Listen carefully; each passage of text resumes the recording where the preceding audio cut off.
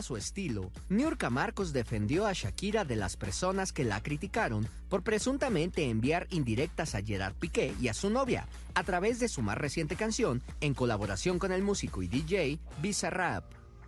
¿Quién es quién para decirle al corazón, a la vivencia de la protagonista, a los sentimientos, al dolor?